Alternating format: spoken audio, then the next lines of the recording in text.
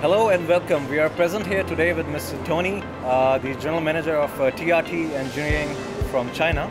Let's go and ask Mr. Tony what brings him here to Pakistan and what products his company is bringing to this country and what are they planning to achieve.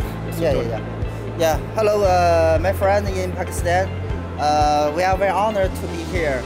And uh, our company, uh, Guangdong TRT Energy Saving Equipment. So our product is uh, heat pump.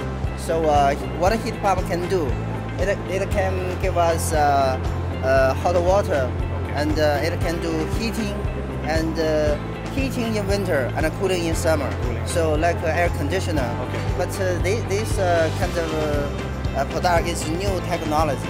It's totally different from uh, traditional air conditioner. Unconventional. Yeah, Okay, all right. because um, why uh, why we can do heating and cooling? Because we, we use the you know the the media is different.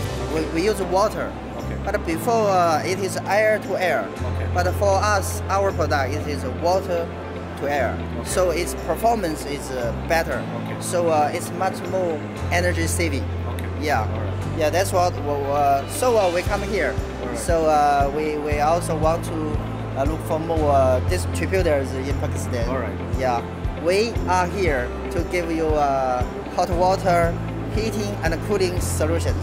Yeah. Well, that's very nice to hear from you. Thank you very much, Mr. Tony, yeah, and yeah. enjoy your stay in Pakistan. yeah, yeah. I'm Thank very you. nice. Thank you. Pleasure. Okay.